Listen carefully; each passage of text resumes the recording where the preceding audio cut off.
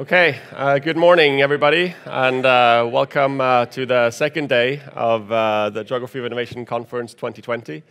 Uh, very happy to see that uh, all of you have made it back today, even after the Viking experience last night. so, just to let you know, tonight there is a, gala dinner at the Atlantic Hotel downtown. you do need a ticket, or you have to have registered for the dinner. Uh, so uh, please, uh, if you have not registered, uh, uh, then uh, there is, I think now, no chance of, of joining the dinner. and if you are unsure, then please check with reception because we are sold out for the dinner. so. Uh, so please uh, uh, check whether you have registered and signed up for the dinner before tonight's event. There will be buses leaving at 7.45 outside the hotel like yesterday. Uh, a second piece of practical information, uh, the footbridge uh, over to the Bouvet room is closed today. so to get to the sessions in the Bouvet room, you will have to leave the building, walk around the ice hockey arena to the front of the arena, which is the opposite side from the hotel, and then enter through the main entrance of the ice hockey arena. There will be uh, students and volunteers uh, in their white t-shirts showing you the way how to get there. Uh, so the bonus is you get some fresh air and you get to see uh, the ice hockey arena. Uh, but please do leave some time to get from here and over to the sessions that are in the Bouvet room, probably at least a five-minute walk. then we will start today's plenary session.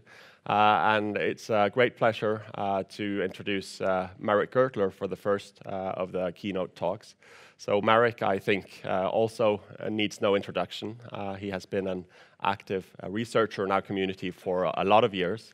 Uh, but I suppose if you are uh, fairly new, like me, I guess, to this community, then uh, Meric will have been uh, a rector uh, and working in putting uh, some of our research into practice for quite a while. And we are extremely happy to hear about how he has actually done that in practice at the University of Toronto. Uh, and uh, uh, that he has also taken time out of his very busy schedule as director to be here with us today and, and share his experiences from, from the U of T. So please, Meric, the stage is yours.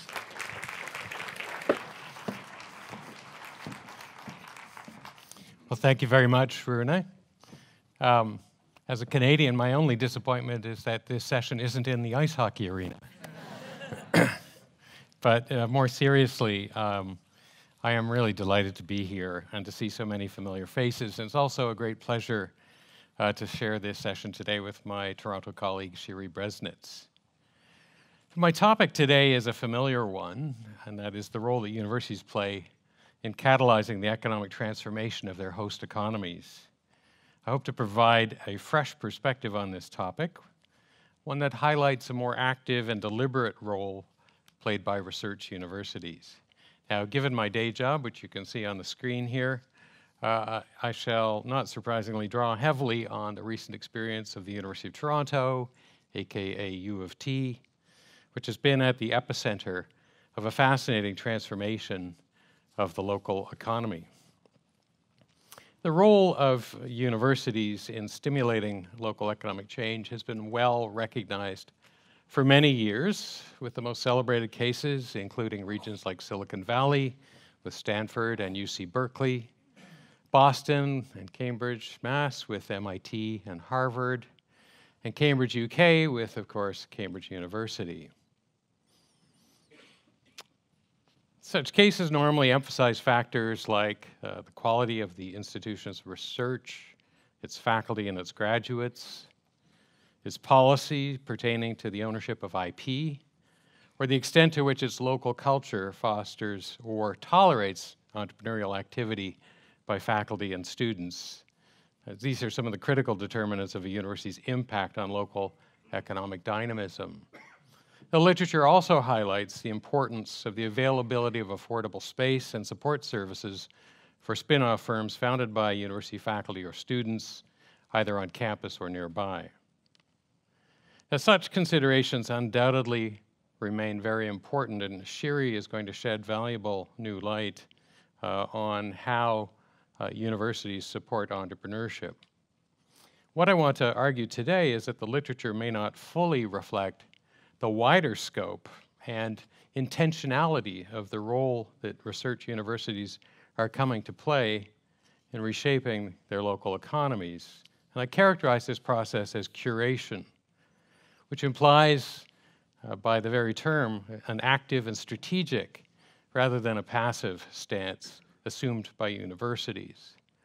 This role entails the deliberate creation of new organizations and new institutions, new rules of the game that remake the regional innovation system in important ways.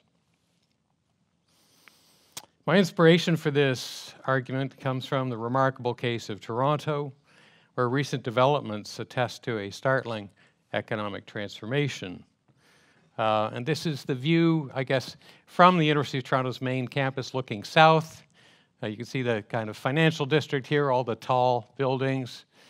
Um, the university's southern boundary is more or less here along College Street. Uh, these two white towers have not yet been, been built, but I'm going to come back and talk about them. And this is Hospital Row along University Avenue, where we've got uh, half a dozen of Canada's most research intensive uh, hospitals, all of which are affiliated with the University of Toronto. So, an amazing cluster of economic activity and big brains.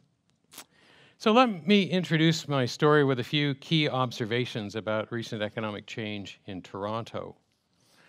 First, in its uh, 2019 Tech Talent Report, CBRE reported that Toronto created more tech jobs over the five year period from 2013 to 2018 than any other metropolitan region in North America, except for the San Francisco Bay Area. And you can see that Toronto is a, a close second to San Francisco. And as you can see from this slide, Toronto outshone New York City, Seattle, Los Angeles, Boston, and many other cities by wide margins. And when this, this uh, research appeared actually the year before in, in an earlier iteration of this, it was a head snapping moment for a lot of people who had a sort of qualitative understanding that things were going on in the city, but this was really the first time that quantitatively it was con- confirmed.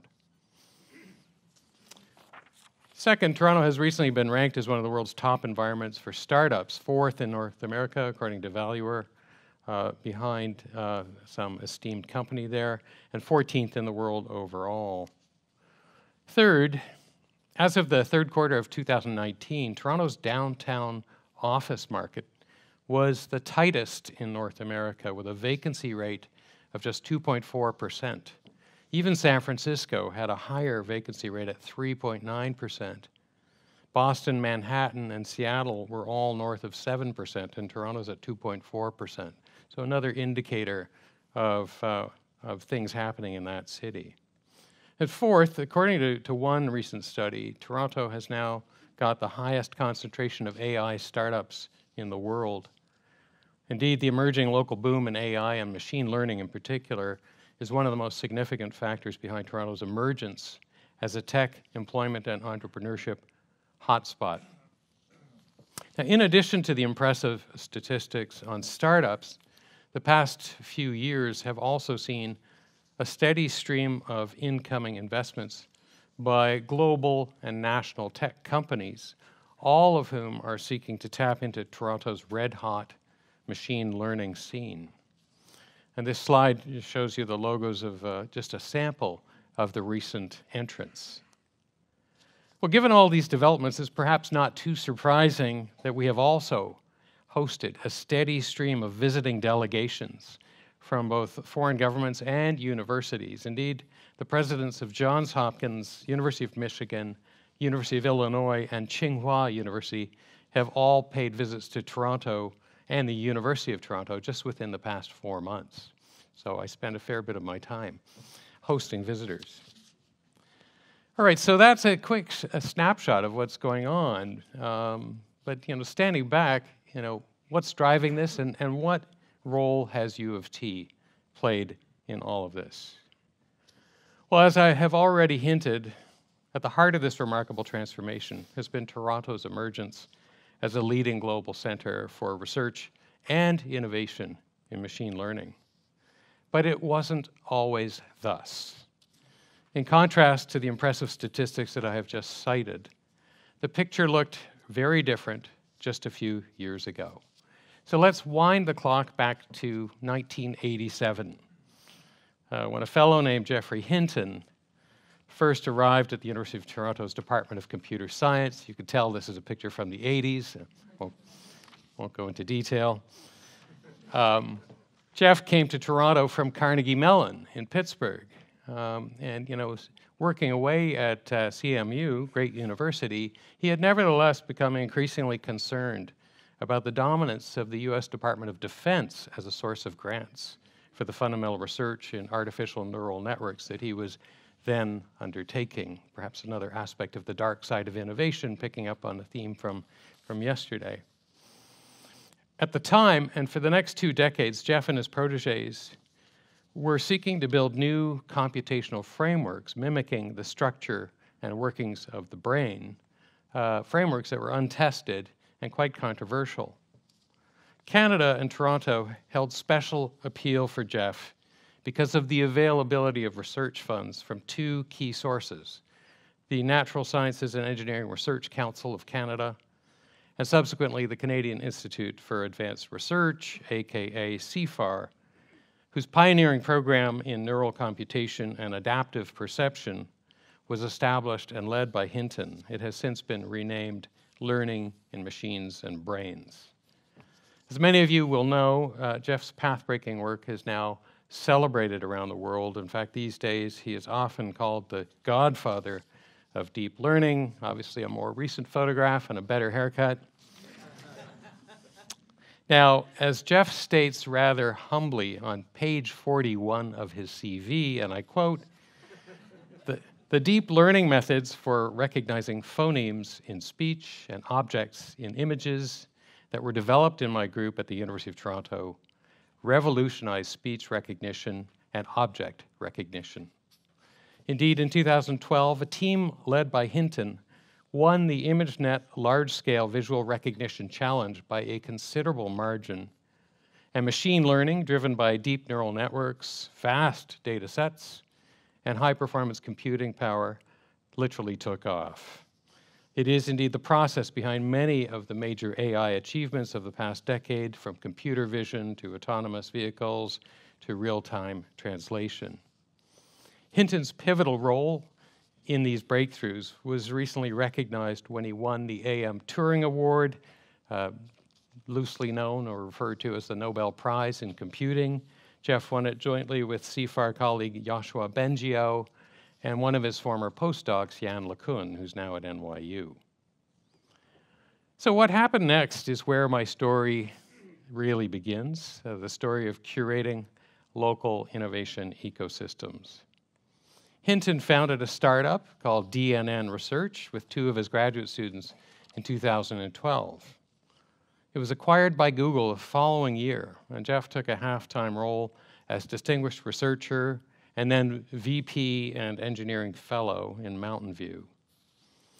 He became university professor emeritus at U of T. In fact, one of my uh, most important moves as an administrator was convince Geoff, to convince Geoff not to resign, but to retire uh, so that he would uh, retain a, a, connection to the University of Toronto. And uh, indeed, he continued to supervise graduate students and, and, still does to this day. Not surprisingly, though, uh, Geoff's students and his postdocs were in high demand, sought by uh, Google, Apple, and Uber, and Microsoft, and many others. And this graphic gives you an idea of the, the long reach of Geoff's lab. Uh, and you can see some of the logos here. What you may not be able to make out is the geography. So these are all in places outside of Toronto. Mountain View, you know, London, another Mountain View, Palo Alto, San Francisco, New York, Redmond, Washington, Cupertino, California. So we were populating AI uh, and machine learning research centers, most in the private sector, um, around the world. Um, and uh, an impressive picture on many levels. But clearly, this story of undeniable scientific success and influence with widespread and growing commercial impact was not a story about economic benefit for Toronto or for Canada. Instead, Toronto was facing a classic brain drain. Its top homegrown talent was being recruited away to take on attractive opportunities in other cities and countries, largely in the private sector. And little of the commercial benefit arising from Geoff's breakthroughs was being enjoyed in Toronto.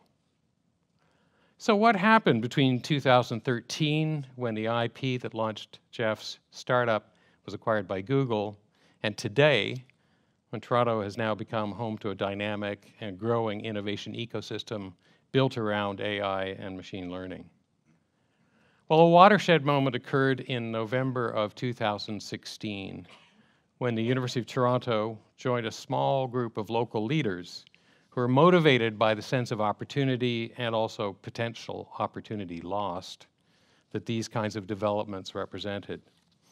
The group included Ed Clark, a former banker turned senior advisor to the Government of Ontario, and I also, I have to add, a proud University of Toronto alumnus, uh, and some of Geoff Hinton's former students who were active in the fledgling local AI startup scene. They came together to advocate for the creation of something that came to be called the Vector Institute for Artificial Intelligence, an independent research lab that would drive excellence and leadership in Canada's knowledge, creation, and use of artificial intelligence to foster economic growth and improve the lives of Canadians. Appropriately, Geoff Hinton was named as Vector's chief scientific advisor and his former PhD student, Rich Zemel, uh, also a U of T computer science professor, uh, became Vector's research director. Garth Gibson, an expat Canadian at Carnegie Mellon, uh, was recruited back to Toronto to take on the CEO role. The province of Ontario committed $50 million to support the Institute, which was formally announced only in March of 2017, so less than three years ago. The Government of Canada followed the province, pledging its support as part of a new $125 million pan Canadian AI strategy, with similar levels of support flowing to complementary initiatives in Montreal and Edmonton. Perhaps most significantly, more than 30 private sector companies committed a combined total of over $80 million to the project. And this latter point is important, and it underscores the rather unique model at the heart of the vector experiment, and it is still very much an experiment. Vector is a center for both fundamental and applied research with faculty members and faculty affiliates, and yet uh, we set it up deliberately as a kind of arm's length organization, independent from the University of Toronto. And we did this for four reasons at least. First, to provide greater freedom for associated faculty to determine how they spend their time fundamental or applied research, teaching, supervision. It's really up to them. Secondly, uh, to enable faculty to earn higher salaries than they would otherwise earn as a conventional professor. Third, to allow faculty to establish or maintain appointments at U of T or other aff affiliated universities in the region, enabling them to supervise graduate students. And here I will just note that Vector also funds a large scholarship program for graduate students at accredited institutions in the region to help grow the local supply of machine learning talent. And the fourth reason why it was set up as a kind of arm's length independent institution was to signal to the private sector its enthusiasm for, its, its openness to engaging with industry partners. In fact, private sector partners uh, have been attracted to join Vector as partner sponsors uh, for a number of reasons that motivate them, and particularly the prospect of securing privileged access to graduate student talent and cutting edge researchers in machine learning with whom they can solve technical challenges, engage in joint research, and learn more about how machine learning can transform their business. Indeed, one of Vector's primary objectives is to facilitate the dissemination or diffusion of new machine learning tools throughout the economy to assist local startups who need assistance in scaling their businesses, and also to drive the transformation of existing business models within larger established firms in more mature sectors.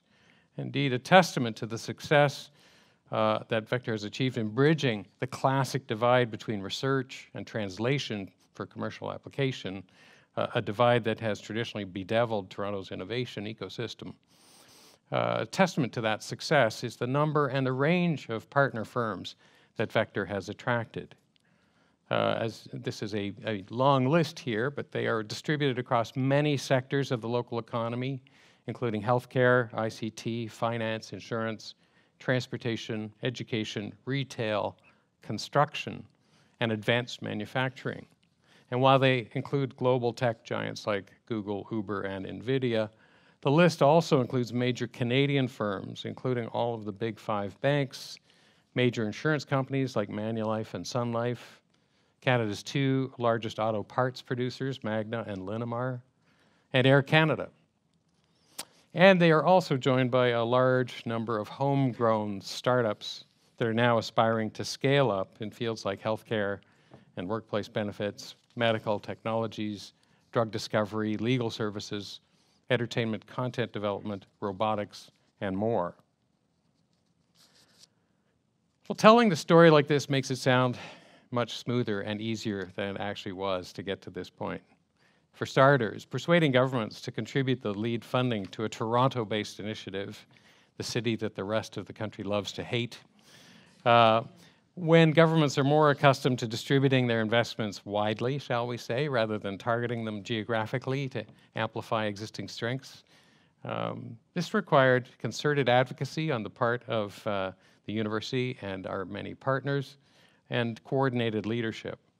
The result is a powerhouse AI institute for research, commercialization, and education that currently hosts 400 active researchers, including 34 uh, full-time faculty members, 65 faculty affiliates, 41 postgraduate affiliates, and more than 240 postdoc fellows and students. And in the West Tower uh, of the uh, Mars Discovery District in downtown Toronto, this is the, the current home for Vector. So this is, again, just at the southern edge of the um, University of Toronto campus on the south side of, of College Street uh, perched uh, at the top of Hospital Row.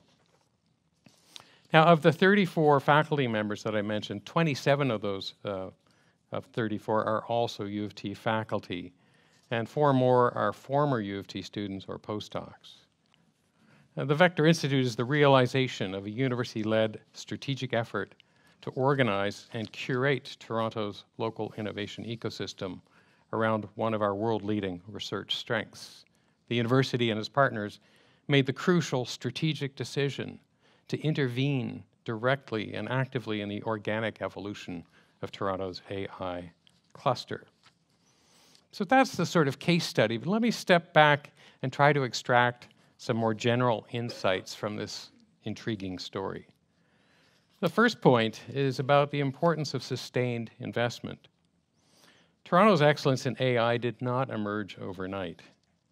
Geoff Hinton's genius and his brilliant students certainly played a central part, but so too did sustained effort for their research over more than 25 years from NSERC and CIFAR, a point that is often lost on government policymakers who typically harbor very unrealistic expectations about the rapid returns on their investments in fundamental research. Indeed, it is all too easy to overlook the crucial importance of patient fundamental research with its many false starts and failures. Governments and the general public they serve are often in an understandable hurry for results. In the case of Hinton and his breakthroughs in machine learning, their overnight success was a quarter century in the making. So clearly, there's no substitute for sustained research investments over the long run. But at the same time, steady research funding, I would argue, was a necessary but not sufficient condition for enabling the kind of remarkable developments seen in Toronto. Which brings me to my second point about retaining and attracting talent, uh, where I will argue that money isn't everything.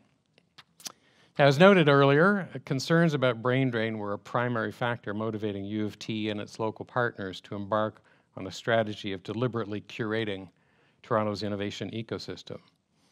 As you, I'm sure, know, salaries for AI experts in Silicon Valley can run several times higher than faculty salaries at a place like Toronto. But the founders of Vector were convinced that salary isn't everything. Freedom to pursue one's curiosity and to determine the optimal mix of research, teaching, and supervisory activities is a huge attractor for top researchers. I'm sure everyone in this room can relate to that. The hypothesis uh, underlying the vector model was that if opportunities in Toronto could offer unparalleled flexibility, along with a significant premium on compensation, and the chance to remain a part of U of T's dynamic academic community, it would be hard for top scholars to resist such an offer and to leave, even without matching the salaries in the private sector that they could otherwise uh, earn in the Valley or somewhere else. Now, on top of these attractors, the region's high quality of place has also proved to be a very significant factor. And here I want to tell another little story, uh, a case in point. This is Raquel Urtasun, a, a computer science professor at U of T. Uber wanted Raquel, uh, was a rising star in machine learning and computer vision, to head up their autonomous vehicle program in Silicon Valley. And she said, No, I like Toronto. And they said, Well, how about Pittsburgh? It's a little closer to Toronto. We've got a lab there too. She said, No, you didn't hear me. I don't want to leave Toronto. Uh, so if you want me, you're going to have to come to Toronto. So indeed, Uber did come to Toronto, uh, committing to build a lab around Raquel with 50 researchers. And in Raquel's own words, she could say it better than I can. You know, they were uh, interested in the research I've done in the last few years. I didn't want to move. I wanted to stay here. And Uber was opening, or open to opening a big research lab in Toronto. It's very important for the company's future, and that's why we are here. And then she goes on to say, well, I came to Toronto because I was working in AI. Toronto is a global leader in AI, but Toronto is a very vibrant city, a fantastic place to live. I really like the diversity here. It's a very cosmopolitan city, and as a foreigner, I feel at home in Toronto. So, those of you who don't know Toronto, more than 50% of the population in the region of about 6 million people was born outside of Canada. And they come from everywhere, literally every country on the face of the earth. So, uh, a rather uh, compelling uh, narrative from Raquel. And perhaps not convincingly, Raquel is also a co founder of the Vector Institute. And Uber subsequently announced their plans to expand their Toronto ATG lab from the original 50 scientists to 500 scientists, investing over $200 million in the next five years because they were so impressed by what they found in Toronto. This example, I think, supports the view of uh, a guy named Mike Bloomberg, who's in the news these days a lot for other reasons. But back when he was mayor, he said, I've long believed that talent attracts capital far, far more effectively and consistently than capital attracts talent. Incidentally, Raquel's story also provides another example of active curation by the university. In order to enable her to take on her post at Uber, we had to literally rewrite the rules to permit her to retain a 20% appointment at the university for an extended period of time. This would allow her to continue to supervise U of T graduate students, many of whom work in her lab at Uber.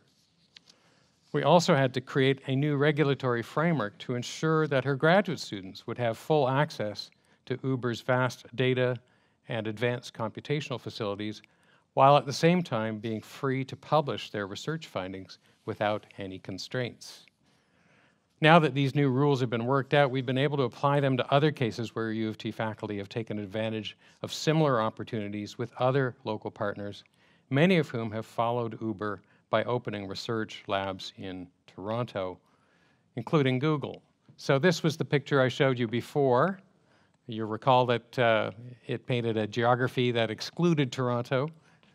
This is what it looks like now, and this is just a partial uh, version of it, but you've got new labs in the city opened by NVIDIA, by Samsung, by LG, uh, there's Uber, and Google actually set up a lab in Toronto to accommodate Geoff, who, for personal reasons, including the fact that he has a bad back and doesn't like to fly, um, you know, was uh, much more convenient.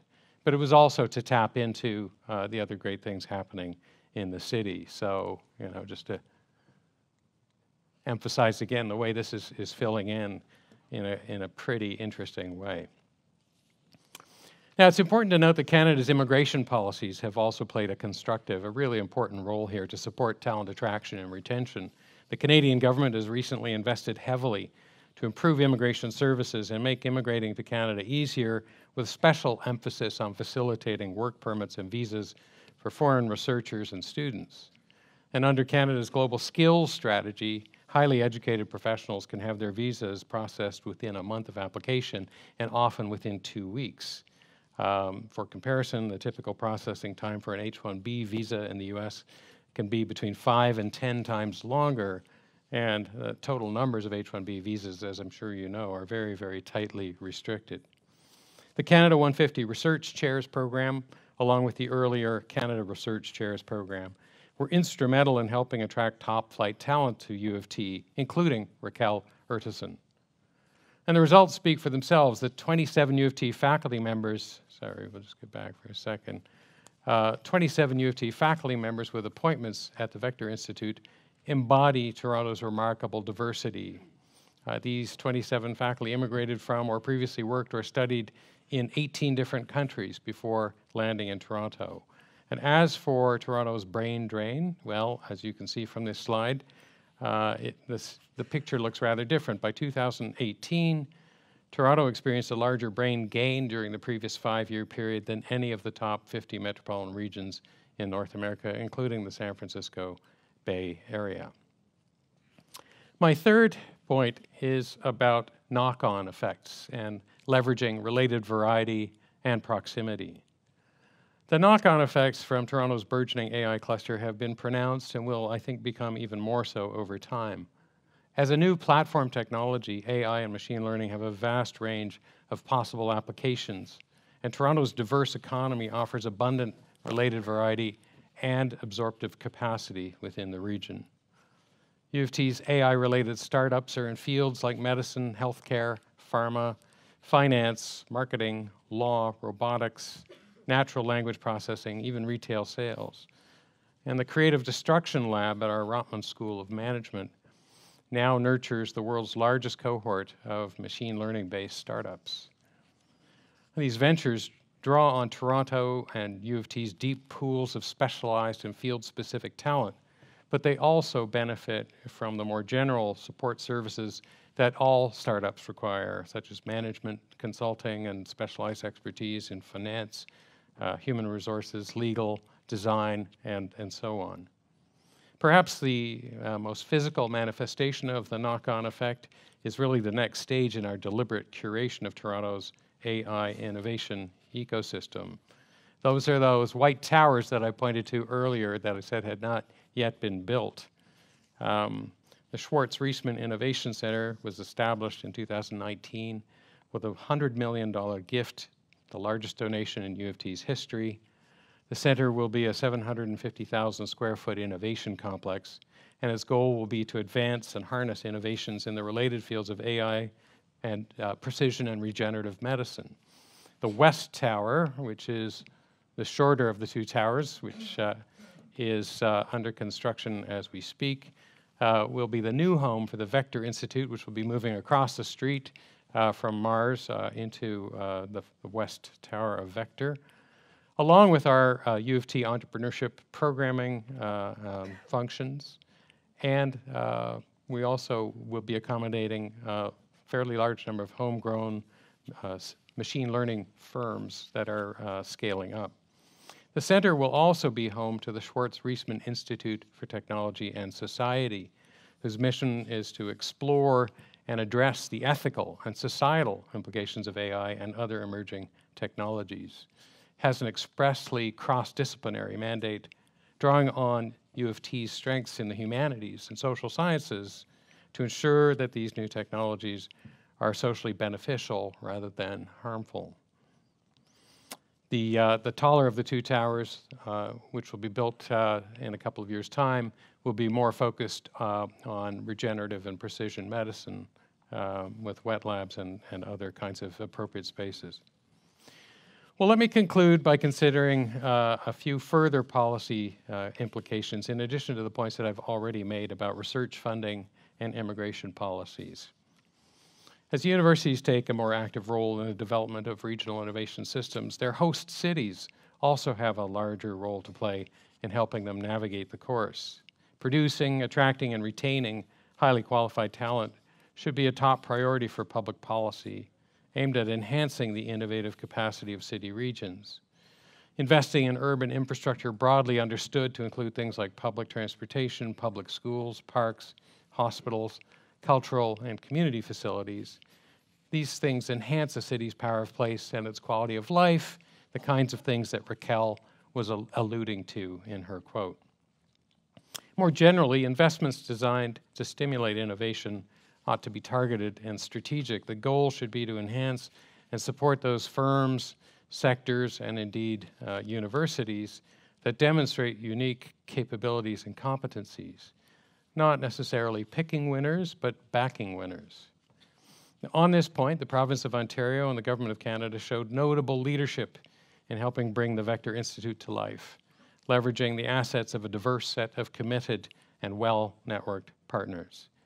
But Canada and Ontario cannot rest on their laurels. Many countries have now followed Canada's lead and are doubling, if not tripling down, uh, on similar kinds of strategies. Well, to conclude, uh, my main argument has been that the role of universities in reshaping their local innovation and entrepreneurship ecosystems may be evolving and expanding. In the case of the University of Toronto, we have done this in at least two ways. We've played an active role in the creation of new organizations like the Vector Institute, the Creative Destruction Lab, and the Schwartz Reisman Institute that have become pivotal elements of the regional innovation system. And second, we have reshaped the rules of the game. We've led a process of institutional change by reshaping the relationship between universities and industrial partners, and by refining and redefining the very essence of what it means to be a faculty member or a graduate student. If U of T's experience is any indication, research universities may now be playing a more purposeful, strategic, and engaged role in actively curating the development of such ecosystems. Thank you for your attention. I look forward to the questions.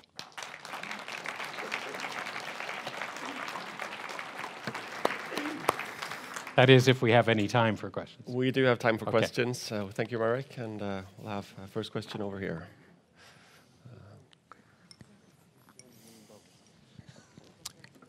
Thank you, thank you, Meric. Um, that's a really, really compelling story and, a, and a, a, very engaging presentation. But I thought there was one really conspicuous absence from the story of tech, which was Sidewalk Labs, which is an international debate in itself, I guess, and uh, which showed, I guess, that civil society also has a role to play in shaping Toronto's tech scene. Yeah. And I wonder whether you could say what U of T has been doing about the Sidewalk Labs controversy. Thanks. Thanks, Kevin. That would be a lecture all in itself, and maybe I'll give it one day. Um, so, for those who don't know, Sidewalk Labs is a subsidiary of Alphabet, the parent company of Google. Uh, a couple of years ago, uh, they uh, unveiled plans to build a kind of smart city precinct on the waterfront in Toronto, uh, working in partnership with a tri level government agency called Waterfront Toronto. for It's municipal, provincial, and federal government. Um, and uh, with lots of sort of science fiction sort of ideas about um, you know how to uh, embrace smart technologies, uh, sensors, vast quantities of data collected every second of every day by people passing through uh, this precinct of the city, in order to um, you know, achieve some laudable goals around sustainability in particular and affordability. So a not uncompelling vision. Included things like uh, mass timber construction, uh, so avoiding concrete, um, making very uh, creative use of uh, shared vehicles, um, and a more kind of efficient use of uh, and, and more flexible definitions of public open space as well. Uh, so many reasons to be excited. But um, it wasn't long before the bloom was off the rose when people began to ask questions about the data. And this, again, speaks to some of the things that came up in the Dark Side of Innovation session yesterday. Uh, you know, people realized that um, there'd be lots of sensors tracking what people are doing, And all of a sudden, people asked important questions like, well, you know, who has access to that data? How do we ensure that the individuals that generate that data have given their consent uh, for such data to be used for whatever purposes Sidewalk Labs might have in mind? Uh, who owns the uh, intellectual property associated with the innovations that would not be possible were it not for you know, the government providing this very unique opportunity and the land on which uh, this, uh, this proposed new development uh, would sit. Um, you had people like Shoshana Zuboff, uh, you know, who talked a lot about the age of surveillance capital weighing in with a pretty critical perspective on all of this as well. Suffice to say that a lot has changed in the last few years as civil society, as you suggest, has indeed come forth and, and asserted these concerns in a very compelling way and slowed everything down. Uh, and I think um, emboldened Waterfront Toronto uh, and its government uh, you know, partners to uh, take a much tougher stance in terms of the negotiation with Sidewalk, um, who, by the way, had visions to expand the original 12 acre site to many hundreds of acres on the waterfront while they've been sort of pushed back into the original box. But there are much tougher uh, kind of um, rules now about uh, data access and ownership, uh, which will not be held privately but be held in a kind of public trust and so on. So the university has played a sort of subtle role in the background. Uh, we've offered up a lot of our experts to comment on this, and many of them have, uh, mostly in a pretty critical way, to, to be honest. And I think that's a good thing because you know, we don't uh, ever dream of putting words in the mouths of our academics. In fact, we encourage them uh, to exercise their full uh, rights of academic freedom. And so they have been very, very helpful. Um, a number of them have contributed to the um, the process of uh, reimagining what kinds of new institutional structures one would need in order to uh, manage this very precious resource. I will point out that uh, while Sidewalk Labs in Toronto was the first of these high profile smart city um, initiatives and received attention from around the world, it's not going to be the last. There are going to be many, many more. And the same issues that have surfaced in Toronto around Sidewalk are going to be surfacing everywhere else in the world where such developments are occurring. So the point is, you know, Toronto has to find a way not to throw the baby out with the bathwater.